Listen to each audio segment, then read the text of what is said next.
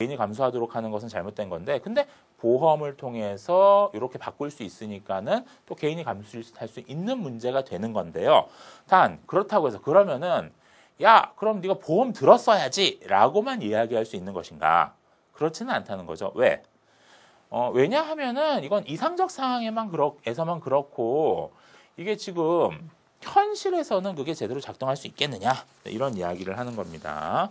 어쨌든 간에 어쨌든 간에 자 고문단 지금 보험 얘기 나오는 문단 마지막 문장 보세요. 마지막 문장 동일한 위험에 당면한 사람들이 보험을 선택할 수 있다는 가정하에서 선택의 결과는 분배의 공평성에 아무런 문제를 야기하지 않는다.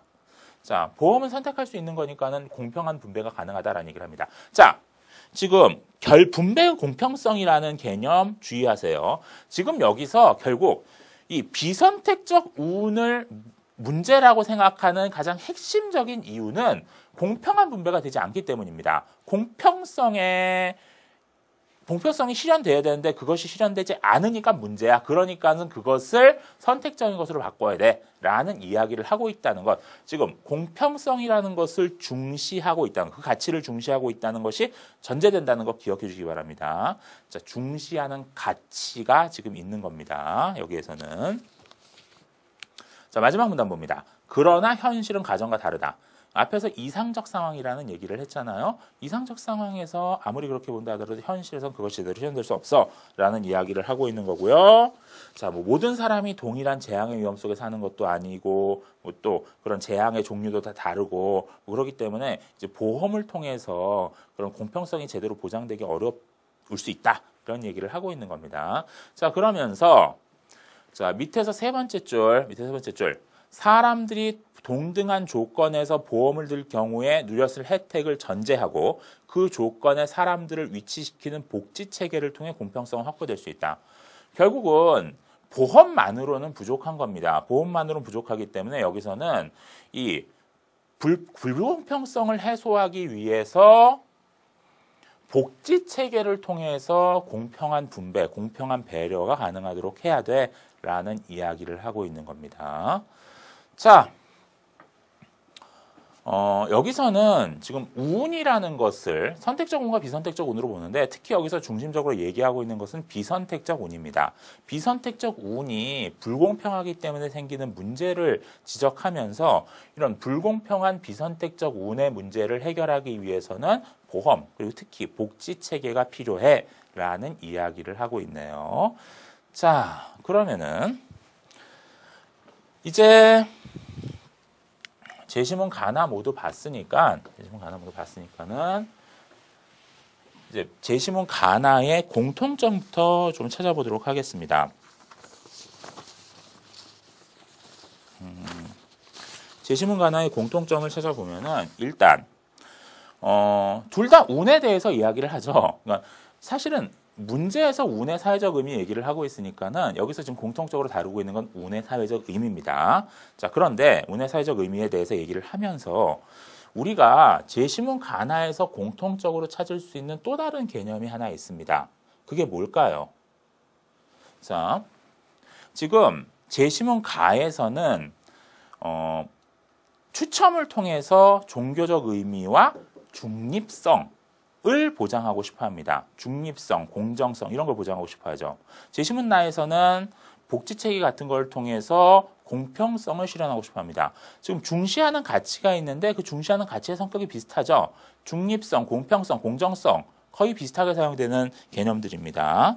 즉, 지금 제시문 가나는 어떤 사회가 있을 때 사회적으로 실현되는 어떤 가치가 있어야 돼.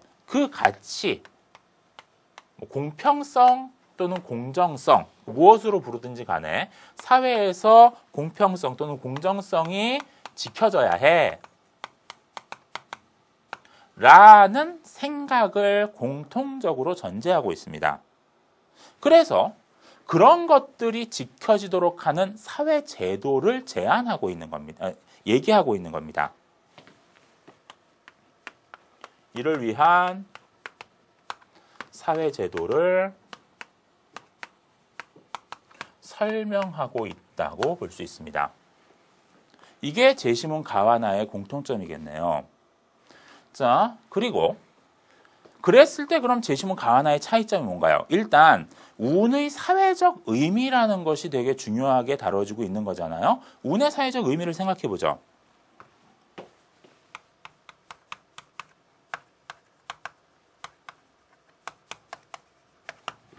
자, 운의 사회적 의미는 제시문가에서는 운을 긍정적으로 평가합니다. 왜?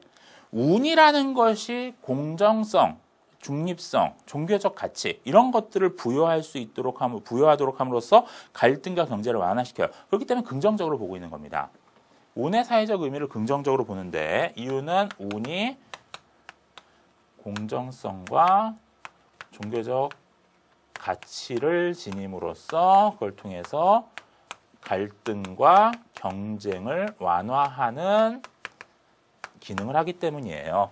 자, 이게 운의 사회적 의미가 될 겁니다. 반면 재심은 나에서는 운, 특히 여기서 이야기하는 운은 비선택적 운입니다. 이 비선택적 운이라고 하는 것이 불공정해. 라는 이야기를 하고 있는 거죠.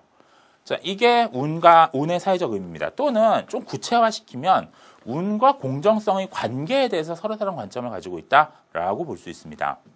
자, 그러면서 그러면서 제시문 가에서는 그럼 이런 공정성을 이루기 위한 제도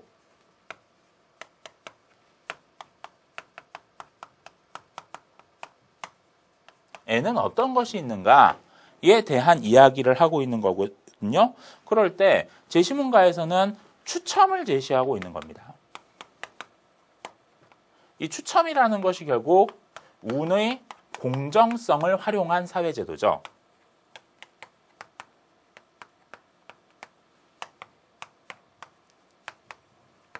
자, 추첨이 운의 공정성을 활용한 제도가 되고요. 다음, 재심은 나에서는 복지제도 또는 뭐 보험 이런 것들이 제시되고 있습니다.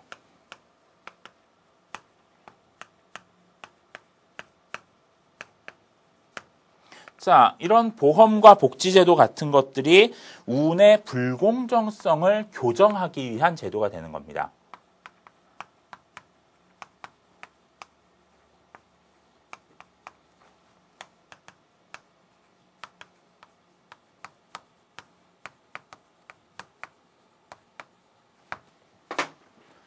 자, 이런 식으로 비교표 그릴 수 있습니다. 특히, 특히, 요 공정성이라는 개념을 중심으로 해서 대비시키는 거 잊지 마십시오. 이게 이 문제에서는 가장 핵심적인 대비 지점이 되는 겁니다. 자, 그래서 자, 이것을 이제 답안으로 작성을 해야겠죠. 자, 여러분들